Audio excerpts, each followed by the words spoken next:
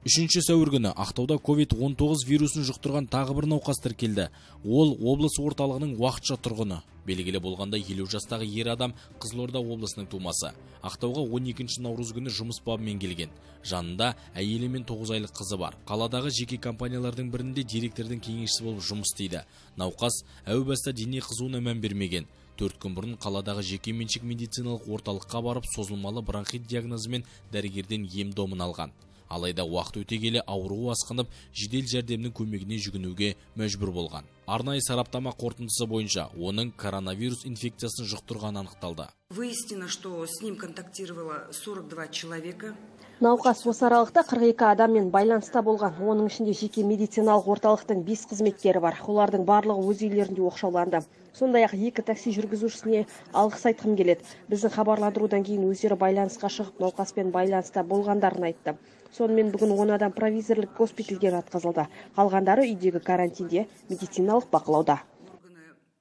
Науқаспен тығыз байланыста болған он адамның екеуі әйелі мен қызы. Төртінші сәуір күні жасалған сараптама нәтижесінде жұбайында да covid 19 вирусы бары анықталды. Ал нәрестенің анализдері таза болып шықты. Дәрігерлердің мәлімдеуінше балаға тағы да сараптама жасалады. По третьему заразившемуся это супруга. Егде жастағы азаматтың жұбайы арнайы орталыққа жатқызылды. Қазір жағдайы жақсы ешқандай аурудың белгілері байқалмайды. Демек әзірге ол науқас емес covid 19 вирусын жұқтырушы болып саналады. Сол үшін оны оқшаулап бокс палатаға жатқыздық.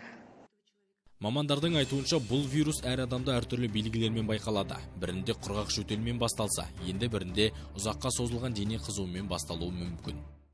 14 күн емес инкубационный период дейміз. Ана микроб ол сол адамның ағзасында 14 күнге дейін ағза, ағзаның ішінде жүреді. Сосын енді жаңағы өз өзін көрсетеді дейміз ғой. Проявляется когда вот он может проявиться в любой момент. Он может и на 14 и на 15 день проявиться. Індет ошағын оқшаулау үшін науқас тұрған тұрғын үй карантинге алынды. Карантин уақыты 14 күнге созылады. Бұл кісілер домашний карантинге жатқызылды. Анализ алынбайды. Вопрос называется самоизоляция. Дәрігерлер самоизоляцияда домашний карантиндегі адамдардың тізімі бар. Күніне екі рет телефон шалып обзвон дейміз. Сол арқылы бұл кісілердің жалпы бұл кісі, домашний карантиндегі болған адамдардың жағдайын біліп отырады. Бүгінгі таңда облыс бойынша 367 адам домашний карантинде самоизоляцияда отыр. Таңнан бастап тұрғын үй маңында дезинфекция жүргізілді. Бұрыш бұрышына вирусты жоятын дәрілер шашылды. Ал нақты пәтер орналасқан подъездің есігі жабылды. Ақтау қаласы әкімдігінің баспасөз қызметінен мәлім болғандай мекенжайдағы ахуал бақылауға алынған. Келген адамдарға тамақтарды есік ашылып ішіне қойылып есігі жабылғаннан кейін барып тұрғындар төмен түсіп өздеріне алып кетуде. Ешқандай шектеулік жоқ. Ағайын тума доставкамен барлығы жасалынып жатыр. Одан кейін алты полиция қызметкері мен әкімдік қызметкері осы бақылауда кезекшілікте. Күні түні 24 сағат бақылауда болады.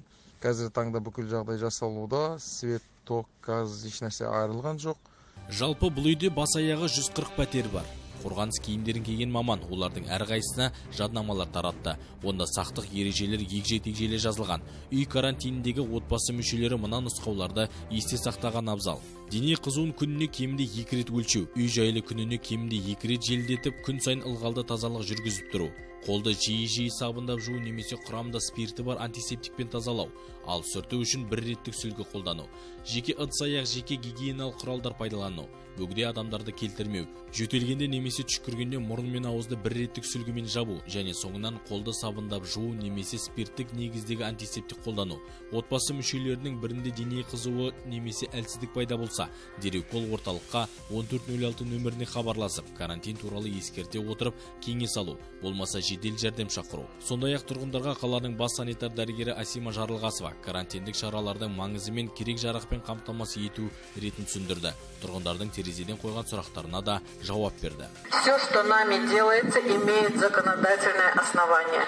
Поэтому будучи юристом вы особенно должны понимать что в принципе это делается на благо людей. Это не наша прихоть это не наше желание. Мы должны сохранить вам здоровье и здоровье жителей города. індет жұқтырғандар саны артуына байланысты облыстық жедел штабтың және санитарлық эпидемиологиялық станция мамандарының шешімімен ақтауда 6 сәуірден бастап карантин шаралары күшейтілетін болады. Ақтау мен жаңаөзен қалаларындағы жеке көліктердің жүру тәртібі өзгереді. Яғни сағат 6 таңғы 6.00-ден 9.00-ге дейін және 18.00 21.00-ге дейін жеке көліктердің жүруіне рұқсат беріледі. Бұл дегеніміз жеке көліктерді пайдаланатын азамат жұмысына тек қана барып келу үшін пайдаланылады. Бұл өте маңызды шара. Облыс бойынша барлық қалалар мен аудандарда қоғамдық көліктердің жұмысы тоқтайды. Қазір таңда жұмыс жасап жатқан ақтау қаласының қоғамдық көлік маршруты. Ол уақытша тоқтатылады. Сонымен қатар ақтау сайын шапағатов ауылы ақтау ақшұқыр ауылы арасындағы қоғамдық көлікте тоқтатылады. Тек қана мұнайлы ауданы мен ақтау қаласы арасындағы жүретін қоғамдық көліктер қалдырылады тек қана қоғамдық көліктерден бір маршрут қалады. Ақтау мұнайлы. Ол маршрут қосымша дезинфекция шаралары күшейтіледі. Қазіргі таңда облыс бойынша 19 дәрігер 115 мейірбике 52 кіші буын қызметкер жұмылдырылған.